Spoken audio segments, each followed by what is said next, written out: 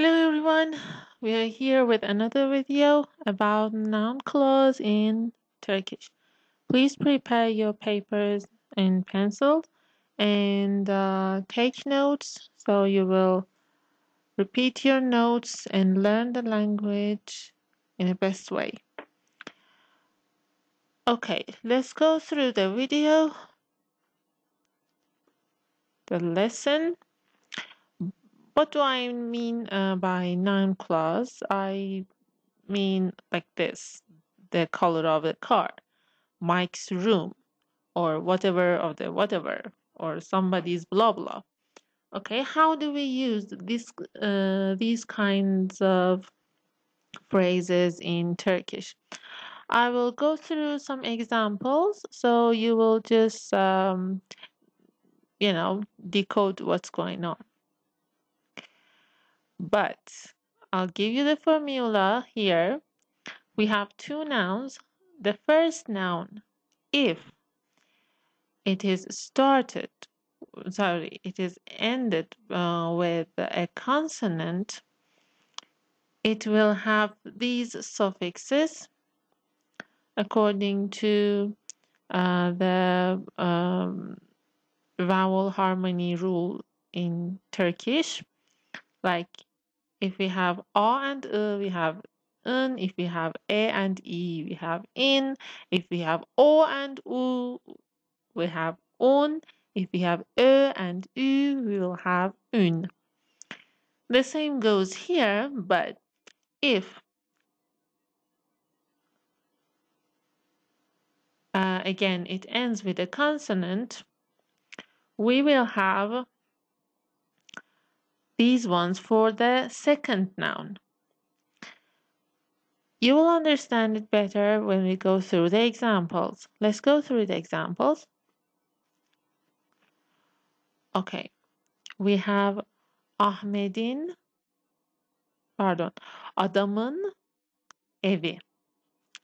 Adamın evi means the man's house. Adam is the man. So we have adamın evi.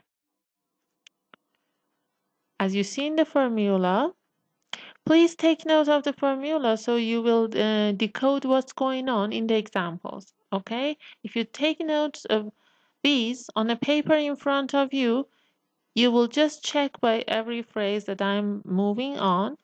So um, you will understand it better. Okay. Here, adamın evi, the man's house. Selin'in kitabı. Selin'in kitabı. Actually, here I should have added this. No, sorry. Where is it? Um, here. Okay. Yeah. Selin'in kitabı. Selin's book. Okulun müdürü. The manager of the school. Müdürün gururu. The manager's pride. The examples that I have brought here is only to uh, use um, the um, different um, suffixes here. Okay, I wanted to put all the four uh, in these four examples. So it may not be a uh, it, it may not be uh, chosen from a daily conversation or from a list of daily noun clauses, but still, um, just to make you figure out that how these will work, uh, I have chosen these examples. Some examples might be weird, but anyway. Okay, what do I have to say here except from okay, nothing. Let's read it again. Adamın evi, Selin, Selin'in kitabı, okulun müdürü, müdürün gururu. Okay. Kapımın rengi. The color of my door. Evin dolabı. The cabinet of the house. Oğlumun düğünü. The wedding of my son. Bölümün sonu. The end of this part. Okay, it might be um what uh, an episode of a series, and it is the end of the episode actually. If it is a series, uh, you will have this as the episode. Okay, um, let me read it again. Kapımın rengi, evin dolabı, oğlumun düğünü, bölüm pardon, bölümün sonu. Okay. Now here we have nouns that ends to a consonant and if the second noun ends to a vowel, the suffix will go like this. Okay, s, si, su, and su. Let's go through the examples. Müdürün annesi. The manager's mother. Gelinin dayısı. The bride's uncle. Çocuğumun üzüntüsü. My child's sadness. Patlıcanın kilosu. A kilo price of eggplant.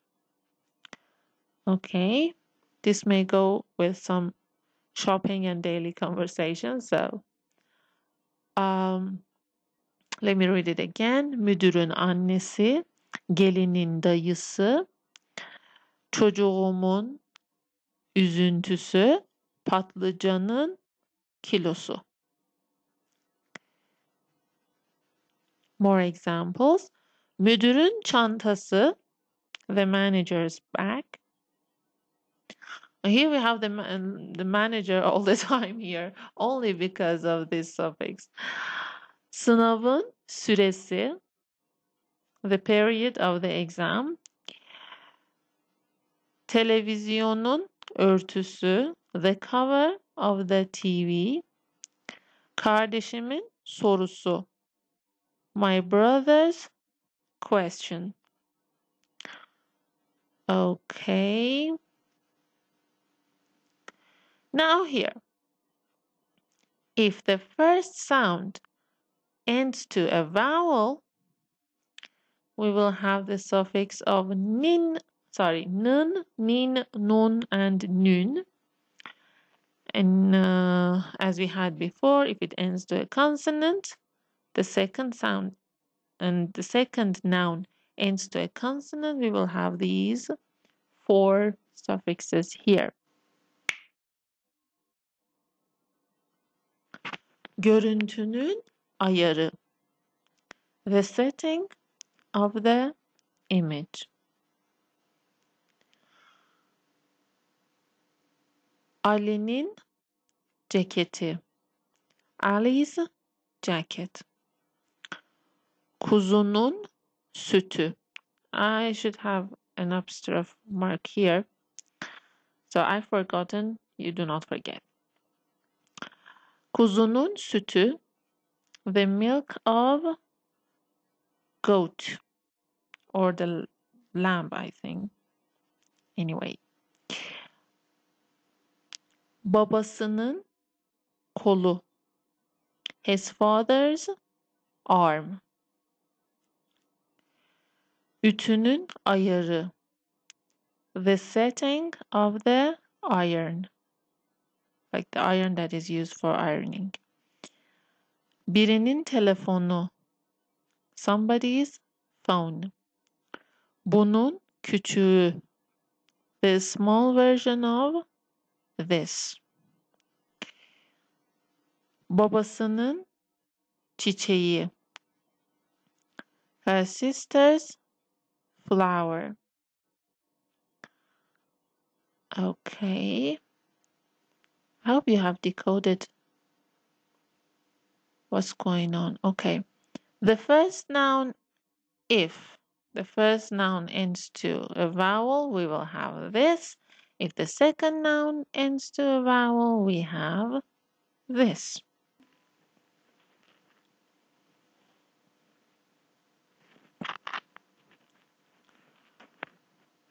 Kuzunun kafası. The head of the goat. Like kuzu is a baby goat. Ali'nin annesi. Ali's mom. Ürünün kilosu. The kilogram price of the product. Ürün is product. Babasının görüntüsü. The image of his father. Mağazanın tabelası. The tableau of the shop. Keçinin midesi. The stomach of the goat. Öbür ön büronun sorumlusu. The responsible person of the front desk. Ön büro is the front desk. Sorumlu is the responsible person. Ünlünün görüntüsü. The image of the famous person. Ünlü is the famous person. And here we have some changes that you must be aware of. If we have the sound k at the end of a word, when it comes to adding a suffix, this k turns to yumuşak and you can pronounce it as like a very soft r sound like ocak which means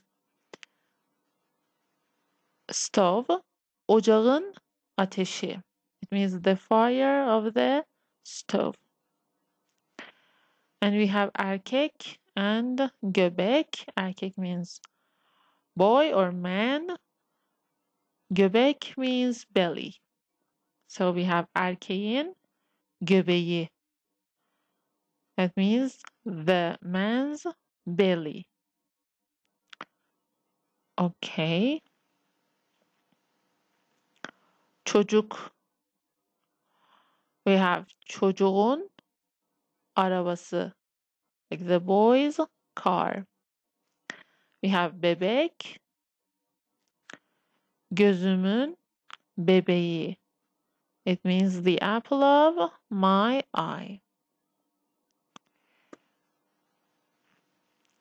If we have p sound at the end of a word it will change to b we have çorap and also we have delik which means hole çorabın deliği. The hole of the sock. We have kalp kalp and we have güzellik. Kalbin güzelliği which means the beauty of heart. Kalp means heart güzellik means beauty. We have dolap which means cupboard. Ağırlık means weight. So we have dolabın ağırlığı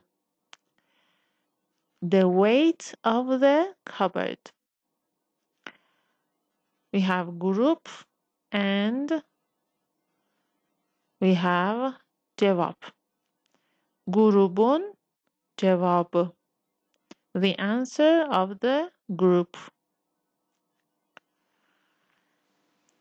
If we have ç sound it will turn to c amaç which means goal aim. Hamza'nın amacı. It means Hamza's goal. Taç, güzellik. Tacın güzelliği. The beauty of the crown. Ağaç, which means tree. Ağacın meyvesi. The fruit of the tree. Sevinç means happiness. Ebru'nun sevinci means Ebru's happiness. Okay. Guys, we came to the end of the video, the end of the lesson. Uh, I hope this video was helpful for you. This is a very, very important session. And um, you will hear these suffixes, this uh, clause form everywhere. And uh, you need to learn it anyway. So if this video was helpful for you, please like and subscribe. Do not forget the um, bell because you might never know when I will have another video. I even don't know because I don't go through a, a time plan. Whenever I have time, I go through the lesson plan. okay, so good luck.